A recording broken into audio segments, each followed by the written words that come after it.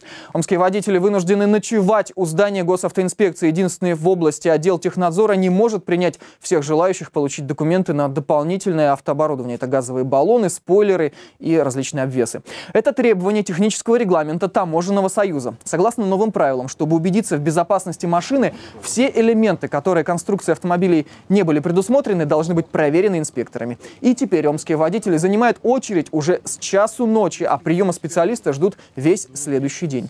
Работает одно окно на всю область. Специальные тетради, куда записываются автовладельцы, чтобы не потерять место в очереди, уже около 500 человек. Записаться на осмотр автомобиля через портал госуслуги или через электронный терминал просто невозможно. Тут позавчера драка вообще была.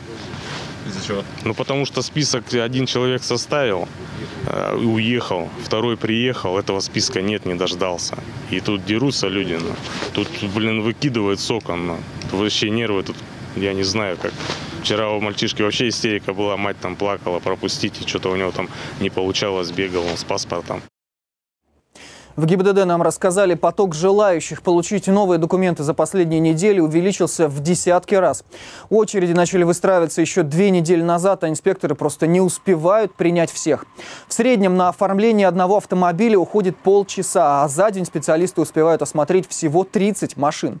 При этом многие приезжают из деревень оформлять документы. Чтобы уменьшить очередь, полицейские пообещали, уже со следующей недели автовладельцев будут принимать во всех районах области для удобства граждан теперь будет в каждом районе э, осуществляться такой прием граждан по этим вопросам. Дополнительно на территории города Омска еще и подразделение отдела ГИБДД МВД России по городу Омску будет, э, отделение технического надзора также будет осуществлять прием граждан. Поэтому все это нам позволит э, сделать доступным и удобным этот процесс.